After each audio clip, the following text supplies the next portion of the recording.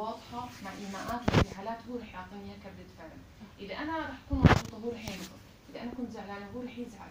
هلأ في كثير مثلا تعديلات بتصير على الكاميرات أو بتأخذ زوايا معينة أو أنت بتنقل صورة معينة فبكون فيها إضافات. هلأ أنا ما بحكي إنها غير حقيقية ولكن أنا بحكي إنه ممكن إنه تصير يلعب فيها ممكن تلعب. لكن بس أنت تيجي وتحضرها غير ما أنت تسمعها أو إنك خلص تشوفها بس مرة ومرتين وترجع تعيدها تاثير يمكن انه مباشر وفيش غلط وشيء أنت شايف الممثل عم بيعيش الجو وعم بيعيش بكل الأجواء المحيطة فيه. فيمكن تأثيرها على نفس المشاهد أكبر. بيكون مشاهد أكبر وع- وعميق أكثر عنده. يعني بيضل حامل هاي الصورة وين ما راح. حضر المسلسل خلص خلص المسلسل وراح. مش. تقليلا أكيد من التمثيل. عودة لشمس والإنجاز اللي كان بحفل الانطلاقة. نحكي شوي عن الهدف من وراء المسرحية اللي انعرضت بحفل الانطلاقة. تمام. هلأ مسرحية شمس الانطلاقة كانت ضحيه 308 آه، ضحيه 308 ناشدنا فيها جميع أنواع العنف اللي بتتعرض له المرأة في المجتمع وحقوقها بشكل عام. ما تطرقنا بشكل كثير كبير لق- للقانون نفسه لأنه تم الغائه لكن ما تم الغائه للكل. طبعا. ما زال جزء منه متعلق على. القاصرين. على القاصرين. هلأ هدفنا كان في إطلاق حفل انطلاقتنا إنه إحنا كنا حابين آه، نخدم شباب شمس ونخدم المجتمع في آن واحد.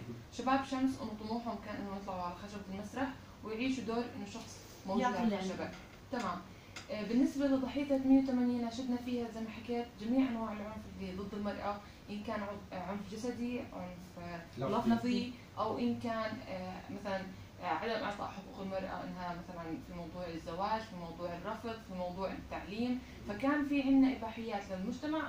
بمنع أو لا. هلأ إحنا بشكل عام وصلنا رسالة إنه ما في إشي بمنع فكرة الفتاة إنها مثلا ما تكمل دراستها من المجتمع وتطرقنا كثير لو لاحظتوا في كثير مشاهد إنه إحنا حكينا إنه المجتمع هو اللي فرض العيب ما انفرض إنه إحنا فرضناه بأنفسنا. صح يعني المقولات اللي أخذناها من أجدادنا لساتها موجودة لساتنا بنمشي على أشياء مش موجودة يعني لا قانونيا ولا مجتمعيا. حتى إنها أصبحت إنه أصبحت بس مش عيب. عادة عادة وتقليد إنه هي عيب مثلا. آه إنه صارت مفهوم عيب أكثر من هي مفهوم إنه إنسانية أكثر. هسا مثلا ليه البنت اللي ساكنة في مناطق ضيقة أو مناطق أو حارات صغيرة ما بيطلع لها تدرس تناقشنا في موضوع إنه ليه البنت بيتم تعنيفها لمجرد إنه آه، حدا حكى عنها أو جاب سيرتها طب شو ذنبها هي؟ آه يعني حكى عنها آه بطريقة كانت جداً. كثير جوانب صراحة يعني العنف ضد المرأة مثل ما انت حكيتي. فينا نحكي إنه هلأ خف خفت مثلا هاي الظواهر مثلا التعليم بالعكس هلأ في صار وعي زيادة عند الأهل إنه لا بالعكس اذا اعلم بنتي وخليها تكمل ماستر ودكتوراه وافتخر فيها. لكن في بعض الشرائح بالمجتمع أو بعض الناس تفكيرهم لسه فقهم ضيق. لسه تمام. بس يمكن حتى الترسيخ للأفكار اللي تغيرت عند الناس. حلو إنه يشوفوا هيك أعمال مسرحية. تذكرهم إنه إذا إحنا رجعنا للجاهلية بالتعامل فعلا. رح نرجع أكثر ب- ب- بمجتمعاتنا بدل رح نتخلف. أكثر مظبوط. يعني حتى إحنا حاولنا نناقش فكرة إنه أعطي الفتاة حقها في المنزل.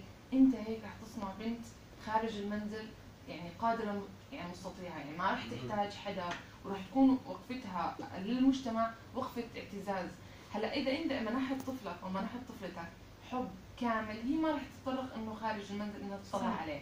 فالفكرة اللي إحنا كنا نحاول نطرحها إنه في مشكلات لساتها موجودة. داخل الأسرة. ومع ال social media وتطورها الفيسبوك وتويتر والانستغرام صار في مجالات خطر أكبر على الفتاة. يعني هسه مثلا في في مفاهيم كثير صايرة تصير. إحنا حبينا ننوه عنها بس إنه نعطي مفهوم للاهالي إنه okay إحنا مع التقدم بس دير بالك إنه في آفات. كل شيء له صح. إيجابيات وله صح. له سلبياته أكيد طيب هلأ أنتم عملتوا حفلة الانطلاقة عودة لموضوع شمس. إيش إيش ال next step هلأ إحنا بنتطرق إن شاء الله لاستقبال الوفد الجديد من الجيل الجديد، طبعا إحنا آه، ما كنا حاسبين هذا الحساب ولكن بسبب إنه شغف الشباب وحبهم للشمس في كثير ناس بتطلب كبير. موجودة معنا. فإحنا مو حابين نسكر باب الباب بوجه حدا.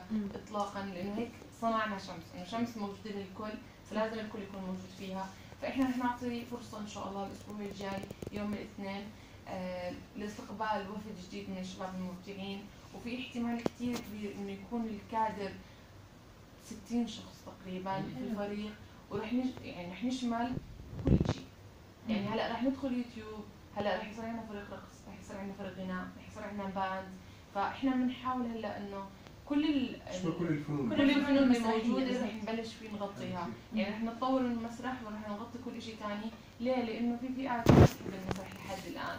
فبدنا نحاول نستقطبها من خلال الأشياء الثانية. جميلة شمس ميسم. بدي أسألك عن القضايا اللي رح تطرحوها بالأعمال اللي جاي. رح تضلكم مقتصرين على المرأة ومشاكل المرأة وهموم لا؟ ما رح نحكي فيها. الرجل مسكين بحاجة حدا يساعده شوي في المشاكل لا رح نتطرق إلى مواضيع ثانية يخص نص موضوع الاتجاه بالبشر. رح. نتطرق لهذا الموضوع كثير موضوع التسول موضوع مفهوم العيب عند الشباب العنف الجامعي اللي لساته مستمر. موضوع المخدرات. وإحنا ما بدنا نتطرق للمخدرات المعروفة. في مخدرات صارت نوع جديد الالكترونيه خدرات فا آه. فإحنا حابين كثير إنه نتطرق. لمواضيع بتخص الشباب حاليا لأنه نسبة الشباب صارت عندنا شريحة كثير كبيرة. صح. إن كانت كنسبة متابعة على الفيسبوك أو كنسبة متابعة لها في المسرح. يعني حتى إحنا تفاجئنا بالجمهور اللي كان متواجد في المسرح. يعني كان إحنا كنا- مسرح فل. كان المسرح الحمد لله فول وكان في نسبة كمان موجودين برا وما قدرنا نستقبلهم للأسف لأنه ما كانت المقاعد. متوفرة وكافية.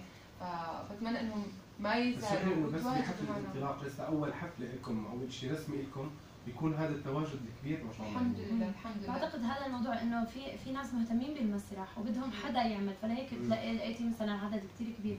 فوق مثلا اللي انت متوقعتيه إنه إجوا على ال- الحفله أكيد، الانطلاق؟ أكيد. طبعا بس حابه أخصص شكري للأهالي اللي كانوا متواجدين معنا هذاك اليوم. قد إيه كنت مبسوطة أسلم على الأهالي إنه ابني أنا فخورة فيه. فكتير كان الوضع كتير حلو وبشكر طبعا نادي القدس الرياضي التابع لوزارة الشباب إنهم كانوا معنا وحاولوا يدعمونا ورح يدعمونا إن شاء الله برئاسة علي آه، الحسن وإن شاء الله يا رب إنه نقدم فعلا مس- مسرح وفن يليق فن هادف. كمان ويليق. بالأشخاص مثلا اللي هم مهتمين أكيد حتى يمكن يليق باسم شمس اللي انطبع عند الناس من طبعاً. أول انطلاقة والعمل الرائع صراحة. صدى العمل كان كثير رائع وتواجد الناس يعني كان نسرين حتى لما كانت موجودة وكانت عم تحكي عن قديش كان في تفاعل بين الناس وانبسطوا بالعرض المسرحي. بدنا بس ناخذ منك هيك دقيقة كلمتين لفريق شمس اللي بيستحقوا كل المحبة والاحترام. شوي كيف كان ال backstage التحضيرات طبعا هسه إنه تشعر بعدين لما بتذكر ال- الإشي اللي صار هلأ أحكي لك ما راح أقدر أوصف لك قد إيه كانوا متحمسين قد إيه كانوا مستعدين إنهم يطلعوا على ال stage وإنهم يحكوا اللي بدهم. يعطوا كل اللي ويعطوا اللي بدهم إياه. إحنا تقريبا زي ما أنت بتعرف لازم تعيش أنت الممثل في أجواء الإحباط نوعا ما حتى إنه يطلق العنان. بأقصى حد له على الخشبات ما أحكي لك الأجواء اللي عشناها معاهم واللي عيشناها إياهم. كان هدفها إنه فقط إنهم ينموا الأشياء الداخلية اللي عندهم. شباب شمس رح ارجع أحكيها ودائما بحكيها. كثير مناح من جوا.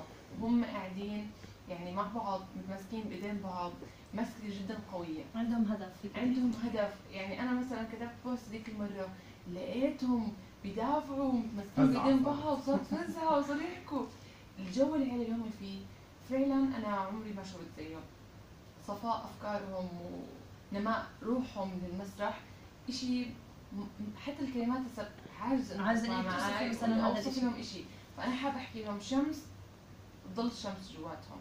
والأيام الجاية رح يتعرضوا لكثير قصص ورح يشوفوا كثير عالم. رح رح يزعلوا ورح يفرحوا. بتمنى إنهم زي ما انبسطوا في أول هاب دائما هيك ينبسطوا على طول. دائما ينبسطوا فيها. وبحكي لهم إنه خلصت الإجازة ولازم نرجع نشتغل.